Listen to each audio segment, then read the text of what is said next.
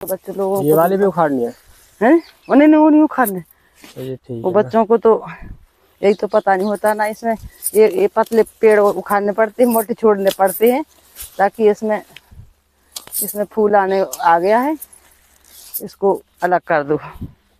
फूल वाली को इसको रोक दो। ये है जो जिसमें फूल इसमें ये पेड़। उखाड़ना है ये लाल वाला। और बाकी ये ऐसे ये उखाड़ो ये वाले पेड़। तो गाइस आज मैं आया हूँ खेतों पे, जहाँ पे हमने गेहूँ की फ़सल लगा रखी है। तो चलो आपको दिखाते हैं पूरा खेत, इसमें क्या क्या लगा रखा है। तो गाइस ये देख सकते हैं आप, ये चने के पेड़। अभी इसमें फूल लगे हैं, अभी फल नहीं आया इसमें। और यहाँ पे लगे हैं मटर।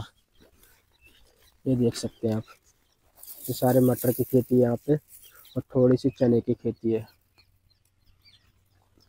ये देख सकते हैं। ये सारा दिख रहा है आपको, मटर है ये सारा। और जिसके ये पीले पीले फूल दिख रहे हैं आपको, ये राई के पेड़ है, जिसमें से तेल निकलता है। और इसके नीचे जो आपको पेड़ दिख रहा है, ये वाला, ये गेहूँ का पेड़ है। और गाइस, यहाँ पे आगे हमारी मम्मी है, जो कि खेतों में से चारा उखाड़ रही हैं, इसे घास बोलते हैं। जो जानवरों को खिलाने के काम आती है। गेहूँ ये गेहूँ में ये लाही है तो ये उतार निकालने पड़े नहीं तो इससे गेहूँ मर जाएगा फिर। होएगा नहीं गेहूँ फिर। कैसे फ़सल को ऐसे संभाल के करने पड़ता है जब ये फ़सल होती है गेहूँ। ऊपर उठने पड़ेगा। नहीं करते रहो। ऐसे दिखने पड़ा तो ज़्यादा लाही हो गई इसको उखाड़ने पड़ा खेत में से। फिर इसको गेहूँ को थोड़ा जगह मिल जाएगी तो फिर गेहूँ नहीं होगा।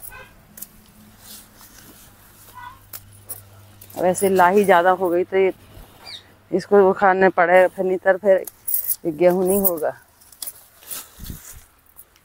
उसको बचा बचा के गेहूँ करने पड़ता है, गेहूँ टूट नहीं जाए। उसको संभाल के करने पड़ता है। बड़े हिसाब से चलने पड़ता खेती में। अब थोड़ा संभाल के पैर भी रखने पड़ते हैं। धीरे धीरे से खेती को आराम से पानी भी लगाओ फिर आराम से देखो फ़सल को बढ़िया तरह से। ये लाही है। फूल रही है, ज़्यादा लाही हो गई है खेत में। इसलिए उखाड़ने पड़े है। देते हैं यहाँ पे। के ज़्यादा हो गई है बचाने पड़ा है गेहूँ गेहूँ मर जाएँगे नहीं तो ज़्यादा। हम्म। हमारी मम्मी को ज़्यादा पता है खेती के बारे में। अभी खेती में तो हम लोगों को पता है बच्चे तो ऐसे अभी उनको पता नहीं है तो कौन पेड़ उखाड़ना है कौन क्या करना है।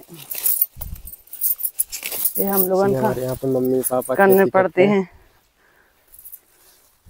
अब ऐसे धीरे धीरे जो छोटा पेड़ है उसको उखाड़ने हैं।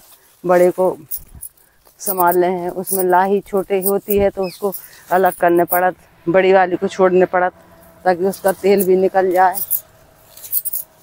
तो उसको अलग करने पड़ती है और इसको अलग करने पड़त।